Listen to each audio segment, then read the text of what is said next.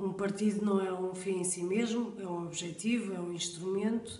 para trabalharmos e para respondermos aos desafios que enfrentamos. Creio que nos últimos anos se mostrou a necessidade de um partido da esquerda europeia forte, em que toda a gente possa participar e sentir representada, em que possa dar-se voz a quem não tem voz, em que se possa combater os mesmos de sempre, os do sistema. E é por isso que é tão importante termos este nosso Congresso, é por isso que é tão importante sairmos reforçados deste Congresso, porque uma União Europeia solidária, uma União Europeia coesa, uma União Europeia que vá para além da União Europeia, precisa seguramente de um partido de esquerda forte e esse é o Partido da Esquerda Europeia.